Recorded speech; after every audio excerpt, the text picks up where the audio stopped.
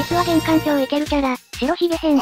メダルをつけましょう。火力に持ってください。残りは防御でいいです。リーグに行きましょう。このような広いステージの場合、自分の一陣から相手の一陣に向けてスキル2をチャージすると、届きます。シャボンディ諸島や魚人島も届きます。スキル1は攻撃力10を増加します。ロジャー海賊団に与えるダメージは1.5倍になります。親父は普通に強いです。通常攻撃の3段には50の確率で、振動状態を付与します。振動状態中に攻撃すると回復します。おすすめのスキルコンボは、スキル2で相手を拘束し、スキル1でとどめさせます。これちゃんと決まると火力増加とスキル2短縮と回復するので、ちゃんと強いです。